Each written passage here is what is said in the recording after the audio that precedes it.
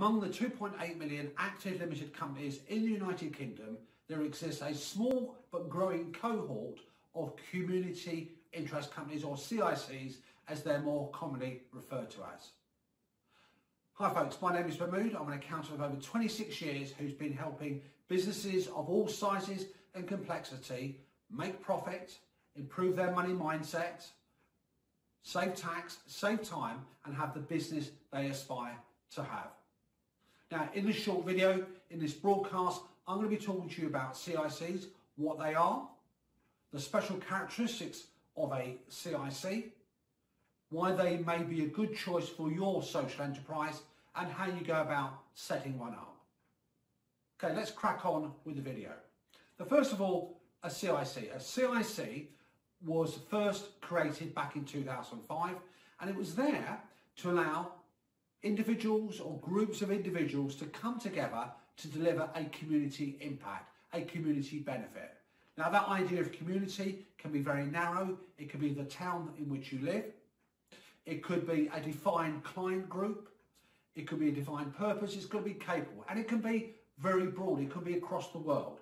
It doesn't have to be just in a local defined territory.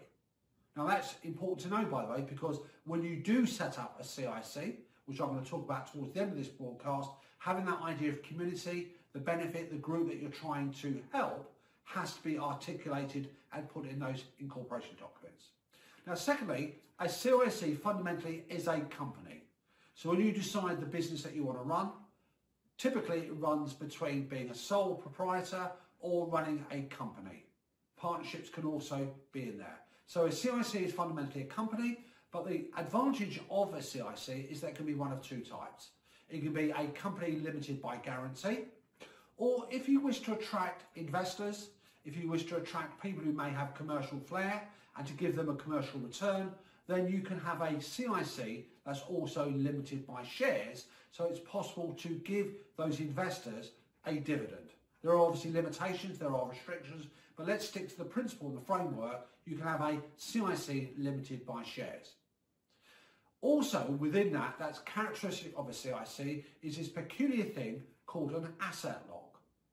Now, the beauty behind a CIC is that when you create one, set one up, a funder, somebody who wishes to invest time and energy in you, wishes to make sure that the profits that you generate are there for the good of your community organisation, are there to benefit the community that you're looking to serve, and they're not for the benefit of private shareholders. So you have what's called an asset lock. So any assets that are built up, any profits that are retained in that CIC mustn't be distributed to the original founders.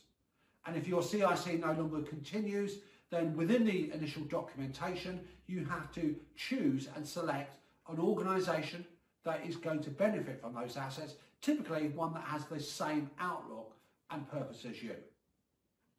Now, other characteristics of a CIC and why people may choose them is because it's a hybrid.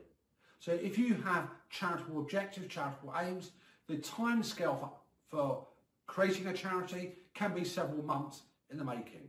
A CIC is much quicker to create. It doesn't have charitable objectives. It has a wider core objective. It is typically not for profit, even though it can be profit making, but it's much quicker to create. The other advantage of a CIC over a charity is that the initial founder, the driving force behind the organisation, is possible to be in charge of the strategy, the strategic overview, but also be involved in the day-to-day running of that CIC and be financially rewarded for that. If we compare that to a charity organisation, you create a charity, it's difficult to retain strategic overview, strategic direction, and also to be remunerated for running the organisation there as well. And typically, you have to make a choice between one thing or another. In a CIC, that is not the case. CICs are very popular models these days for those organisations and individuals that wish to run social enterprises. So that's doing good, helping a community, helping a group of individuals, whether that's local, national or international, but actually still having that business acumen. And as a heads up, by the way, folks, a social enterprise is typically not because you want to do good things, but at least half your income comes from trading activities. The rest may come from grants, donations, but you have to have at least half your income coming from trading purposes. Now, other things that you need to bear in mind. If you decide that you want to set up a CIC, you've got two things you've got to do. One, there's the initial documentation. So it's initially very similar to the same formality as a limited company, but there are extra bits that you've got to do. You've got to define who your client groups are, your community.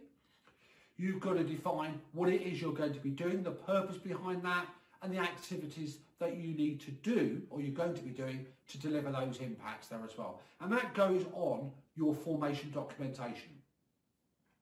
In addition, you have the same compliance regulation as you do for normal companies, but also once a year, you have to complete what's called a CIC 34 report, which is effectively a review of what you've done over the last year, consultations with stakeholders and the like. The alternative is to contact us. We can help you form your CIC and advise you on the best way to structure it to go forward. If you decide, by the way, that you wish to have a charity at some point in the future, it's quite possible to create a CIC, to run that, develop that, and convert that to a charitable organisation at some point in the future. If you're a charity out there and you think about having a trading aspect to your organisation, a CIC could be a perfect model. So to summarise, folks, a CIC is growing. It's growing in popularity. It has that social stamp. It has that protection. It has that ability to do entrepreneurial things. It has the same uh, framework as a company in terms of the liabilities.